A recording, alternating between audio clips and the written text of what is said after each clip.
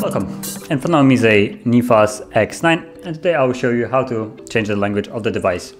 So to start off what you want to do is open up settings and uh, if your device is already in a different language that it cannot recognize, you can just always guide yourself by the icons and how everything looks like. So settings is usually the, the gear icon right here.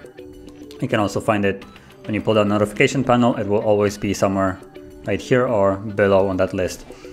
Um, and from here you need to scroll all the way down and to met, uh, more general settings, which is also the icon of like three dots and language you have one right here, system, language and input, and language is at the top. I think it's primarily always on the top, the default device language, so you can just tap on it. And from here, add a language and select a different language that you want to use.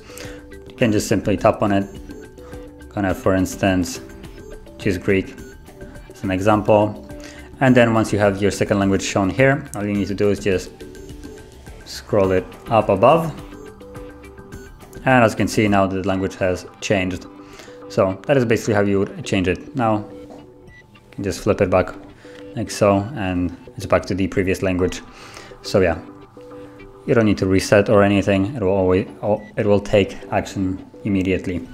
So that is how you would change the language of the device. And if you found this video helpful, don't forget to hit like, subscribe, and thanks for watching.